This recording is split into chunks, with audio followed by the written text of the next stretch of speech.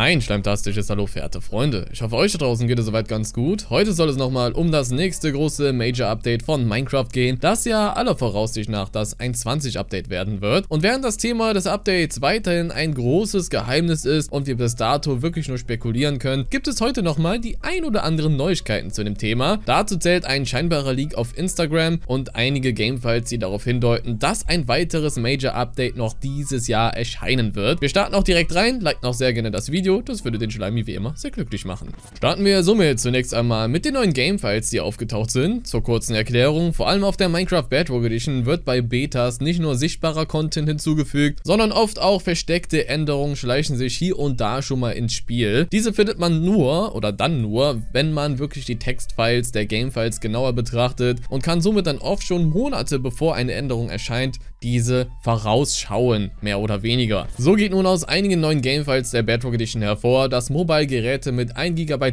RAM gegen Ende des Jahres nicht mehr unterstützt werden. Dementsprechend werden betroffene Geräte ab einem gewissen Zeitpunkt dieses Jahr noch keine Updates mehr für Minecraft erhalten. Weitere Gamefiles sind aber in zwei Punkten noch sehr interessant. Hier heißt es nämlich, dass diese Geräte nur bis November 2022 Updates erhalten werden. Das ist halt soweit interessant, weil es in der Regel zwei Major Updates im Jahr gibt für Minecraft. Kombiniert man das dann mit diesen Gamefiles, ist das ein Indikator dafür, dass auch dieses Jahr wieder ein weiteres Update eintreffen wird. Entweder ist dann im November schon eine Beta-Phase gestartet, die diese Geräte halt nicht mehr nutzen können, weil sie halt wegen 1, 1 GB quasi RAM nicht mehr genutzt werden können oder unterstützt werden und dementsprechend würde das 1.20-Update noch im Dezember, wie immer halt vor den Weihnachtsferien erscheinen oder es steht halt in absolut gar keinem Zusammenhang, was ich allerdings bezweifle. Geht man jetzt zum neuen vermeintlichen Leak über, der auf die Thematik des Updates zielt, bleiben weitere Fragen offen, muss ich sagen. Also Minecraft postete vor kurzem kurzem einen kleinen neuen Clip auf Instagram. Hier zu sehen ist Alex, die mit einem Schwein und Steve durch die Lüfte fliegt. Relativ cool. Der Text dazu hieß,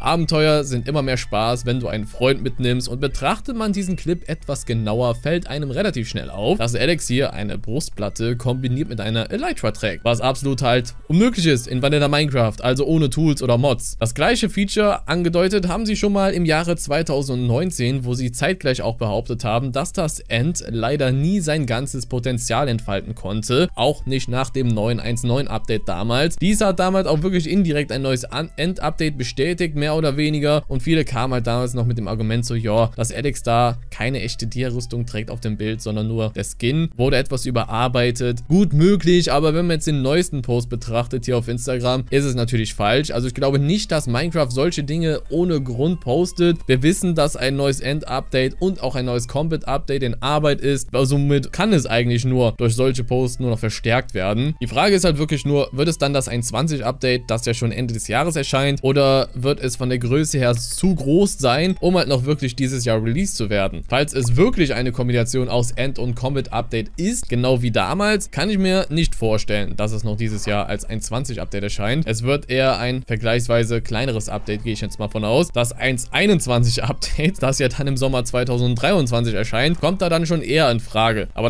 das ist alles jetzt reine Spekulationen und da würde ich euch jetzt nicht meine Hand für ins Feuer legen. Aber allerspätestens werden wir das Ganze hier auf der Minecraft Live dieses Jahr im September oder Oktober erfahren. Aber was ist eure Meinung zu diesem ganzen Thema? Also glaubt ihr daran, dass das wirklich ein Leak ist oder eher ein unbedachter Post ohne Bedeutung, was eigentlich untypisch ist für Minecraft und was für ein großes Major-Update würdet ihr euch noch wünschen? Ab damit gerne wie immer in die Kommentare. Schleimi dankt wie immer fürs Zuschauen, wünsche euch noch einen angenehmen Resttag, bis zum nächsten Mal und auf Wiedersehen.